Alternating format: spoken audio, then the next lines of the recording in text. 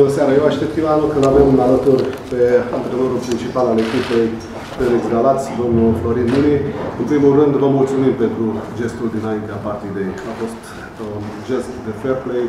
Cred că nu prea s-a mai văzut așa ceva în basket. Și eu vă mulțumesc că ne-ați, ne-ați permis să facem uh, acest lucru, acest gest.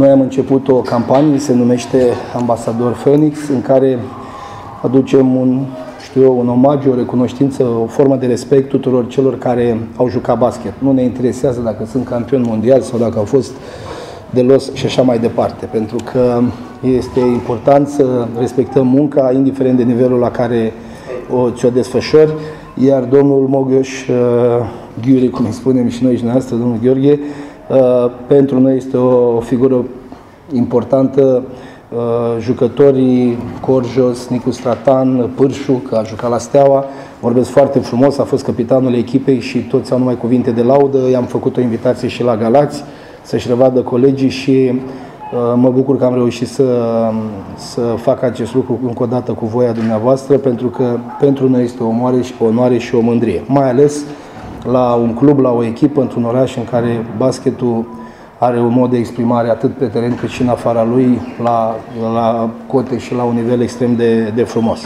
Cred că de altfel, din păcate, pentru mine acest lucru și faptul că am reușit să, să dau uh, în continuare minute juniorilor noștri, uh, Grecu Mihai și Stan David, uh, sunt sigur lucruri care mă bucură. Noi am venit, sigur, montați, dornici să să încercăm o victorie. Știam că este foarte greu, trecem și peste câteva mici probleme medicale și așa cum știți, nici la meciul Craiova de acasă, nici uh, acum și cu siguranță până la finalul sezonului nu-l vom folosi pe Pesici. Încerca să-l uh, introducem repede pe Pavlovici, care își face treaba, dar jocul echipei nu este, nu este același. Poate că a fost prea multă dorință, poate că unii jucători nu, pot, nu se pot exprima la presiunea unui astfel de meci, pentru că noi am discutat că acest meci pentru noi este nu neapărat capital, dar este foarte important și poate tranșa într-o mare măsură prezența noastră pentru al doilea an în uh, play-off.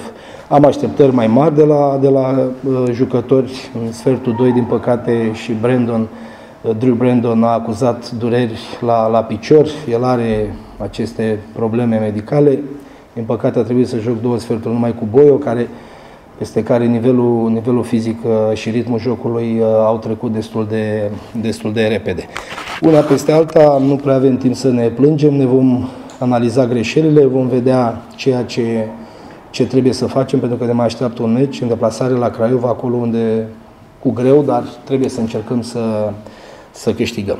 Una peste alta, felicitări echipei gazdă, a fost un joc frumos, un joc în care nu neapărat că s-au descătușat, pentru că ei sunt oricum, uh, echipa oricum e calificată în, în play-off, ci doar a spune că au demonstrat că sunt o echipă frumoasă, o echipă cu potențial și o echipă care merită, din toate punctele de vedere, să fie în play-off.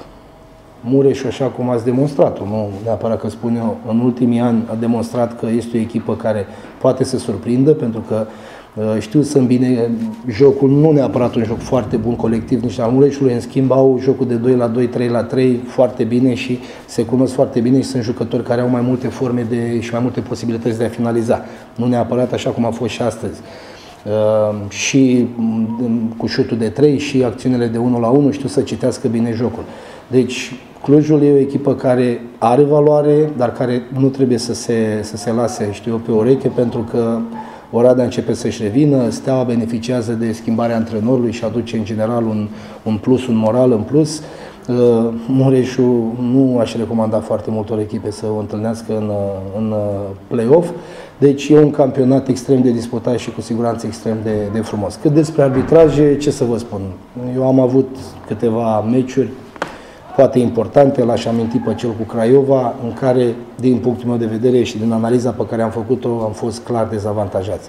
Uh, sunt, sunt arbitraje care nu întotdeauna se ridică la nivelul jocului și trebuie să recunoaștem și noi ca antrenori și ca jucători avem și noi greșelile noastre. Însă, din păcate, greșeala unui jucător sau unui antrenor o poți recupera în meciul următor.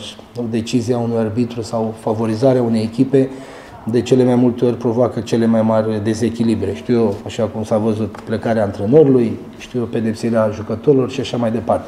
Una peste alta, cred că beneficiem de un basket frumos și e trebuie făcut un efort la nivel național de a, de a ajuta sportul, în primul rând prin legislație, în al doilea rând prin infrastructură, pentru că, așa cum vedeți, să nasc echipe frumoase, vin mulți copii din urmă și trebuie să avem grijă de ei, pentru că altfel, nu neapărat dacă jucăm cu mulți străini sau cu mulți români. Basketul trebuie jucat de cei care merită. La fel cum este în artă, la fel cum te duci la teatru și la film și îți place filmul, este datorită actorilor.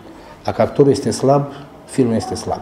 Așa că eu n-aș avantaja, n-aș forța pe nimeni, ci a spune vrei, vino, demonstrează și iau. În orice meserie, la orice nivel, așa și în sport, așa și în viață, doar cei care reușesc și au nivelul și valoarea necesară merită să fie pe un palier pe care demonstrează că pot fi. Restul ține de noi, ține de tot ce înseamnă acest, acest fenomen și sigur că nu putem niciodată să punem unul din, unul din parametri, gen antrenorii, nivelul jucătorilor, nivelul arbitrajului mai sus. Dacă nu înțelegem că e un sistem care trebuie să funcționeze și simpatiile și antipatiile nu și-au locul la așa ceva, ne va fi foarte greu.